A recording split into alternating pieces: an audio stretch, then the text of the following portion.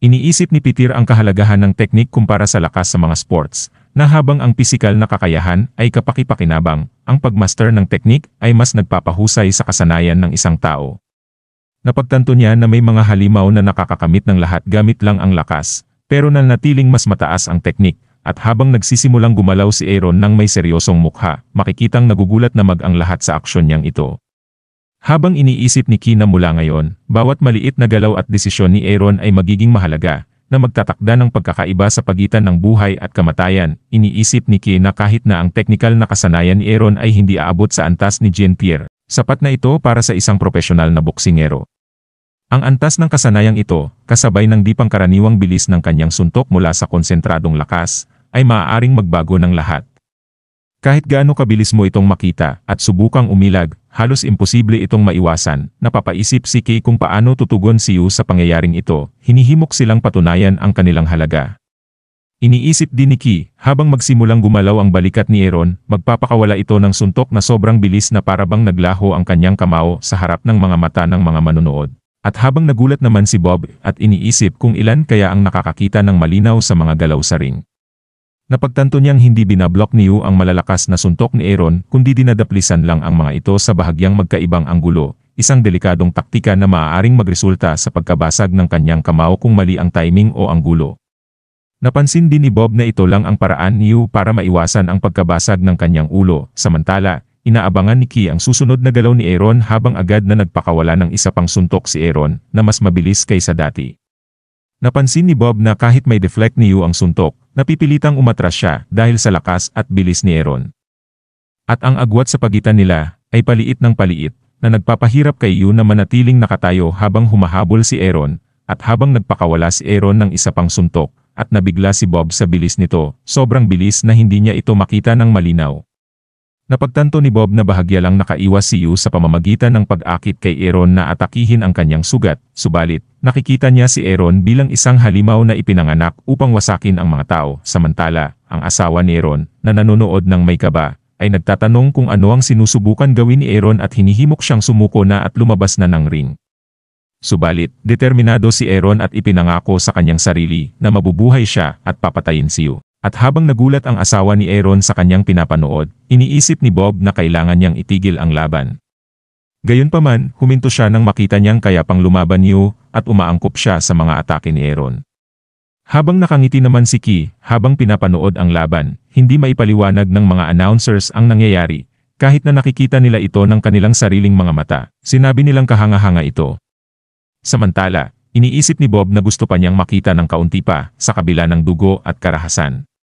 At makikita ang lahat ng nanonood ay nagugulat din sa matinding laban na ito, habang nakangiti, iniisip naman ni Kina sa loob ng dalawampung talampakan quadrilateral ring, may balanse sa pagitan ng buhay at kamatayan. Sinasabing ito ang tunay na laban.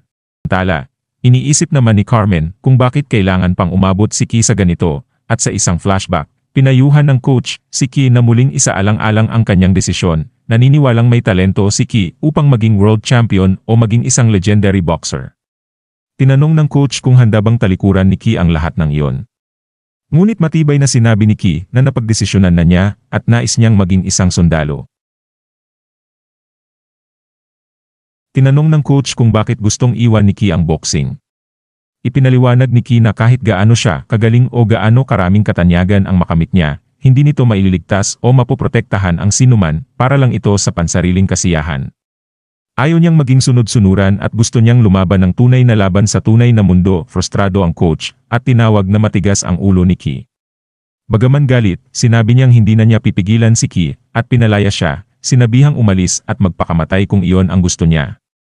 At umalis na nga si Ki, nagbago ang eksena, at may dalawang sundalo na nag-uusap tungkol kay Ki. Nakilala nila siya bilang ang taong nakakuha ng pinakamataas na marka sa kasaysayan ng training course. At napansin na matagal-tagal na rin mula noong nagkaroon sila ng isang baguhan na kasing husay niya, isinalaysay ni Ki kung paano nawawala ang sibilisasyon at lumilitaw ang isang hilaw at primitibong mundo kung saan hindi nasusunod ng mga tao ang kaayusan ng sibilisasyon. Naalala niyang pumatay siya ng kapwa-tao sa unang pagkakataon at kung paanong ang tensyon sa pagitan ng buhay, kamatayan ay nagbura ng kanyang pagkakonsensya. Kumilos siya ayon sa kanyang pagsasanay at isa-isang pinuksa ang kanyang mga kaaway para sa inang bayan, katarungan, at kapayapaan.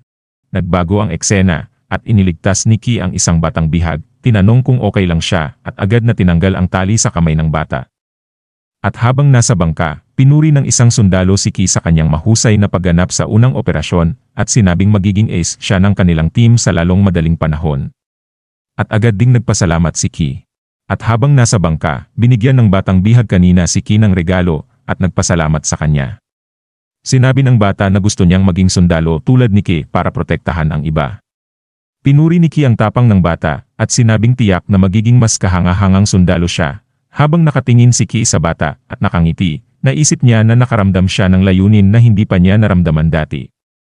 Pagkatapos nito, nakumpleto ni Ki ang ilang matagumpay na operasyon, at mabilis na naging leader ng isang team, palit ang eksena, habang naghahanda ng umalis si Ki at kinausap ang kanyang asawa at anak. Hiningi ng asawa niya na mag-ingat siya, at tiniyak ni Ki na hindi siya magtatagal. Sinabi ng asawa niya na maghihintay siya, at sinabi ng anak nila na mag-ingat siya. Nagpasalamat naman si Ki sa anak at hiniling na alagaan ang kanyang ina. Sa susunod na eksena, sa gitna ng labanan, napagtanto ni Ki na iba ang mga bayarang sundalo na kanilang kaharap. Inutusan niya ang kanyang mga tauhan na i-cover siya, at siya ang abante. Subalit, may granadang biglang naghagis sa kanyang harapan, pero agad niya rin itong nasalo at agad ibinalik sa kalaban na agad na sumabog.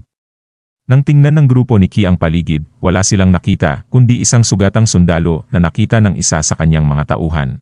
Nang subukang kausapin ng team ni Ki ang nasugatang sundalo, nahihirapan itong magsalita, subalit pinilit na nagbabala na sila'y dapat nang tumakas. Na agad na pagtanto at sumigaw si Ki sa kanyang mga tauhan na dumapa, kasabay ng isang pagsabog. Pagkatapos, sinuri ni Ki ang kanyang mga tauhan, karamihan ay okay, Ngunit may isa na hindi nakaligtas na pagtanto ni Kina nahuhulaan ang kanilang mga kilos at napaghandaan ang isang booby trap ng maaga. Napansin niyang tumpak na tinanggal ang vocal cords ni Eric at ang tiyempo ng granada ay perpekto. Naiisip ni Kina malamang ay may isa lamang na bihasang mersenaryo sa mga kalaban at anumang karagdagang casualties ay maglalagay sa kanilang misyon sa panganib. Kahit na malaki na rin ang naging casualties ng kalaban, inutusan ni Ki ang kanyang mga tauhan na manatili at ipagtanggol ang kanilang posisyon, sinasabing umatras na sila at kung hindi siya makabalik sa loob ng 15 minuto, ituring na nila na bigo ang misyon. Determinado siyang harapin ang sitwasyon ng mag-isa, kaya't agad na sumugod ito mag-isa sa mga kalaban ngunit biglang huminto sa likod ng isang piko. Napagtanto niya mula sa tunog ng mga hakbang na may isang kalaban lang sa loob na nagsiset up ng bomba. Pinag-isipan ni Ki kung sasalubungin na ba niya ito ngayon, ngunit nagpa siyang huwag muna, alam niyang maaambus siya sa oras na lumabas siya. Nagpa siya siyang maghintay at tukuyin ang pinanggagalingan ng kalaban sa oras na sumabog ang bomba, at tinatanggap ang pantay na tsansa ng panganib. Habang determinado si Ki na mabuhay at naghahanda na barilin ang kalaban pagkatapos sa pagsabog ng bomba. Ngunit nang siya ay natigilan sa pagkabigla ng matuklasang ang kalaban, ay ang batang minsan na niyang iniligtas, at sa pagkakataon na iyon, napagtanto ni Ki na ipinakita na ng kapalaran sa kanya ang tunay na kalikasan ng buhay. At dito na po natatapos ang yugtong ito. Maraming salamat po. Mag-like at subscribe para sa susunod na kabanata. Hanggang sa muli.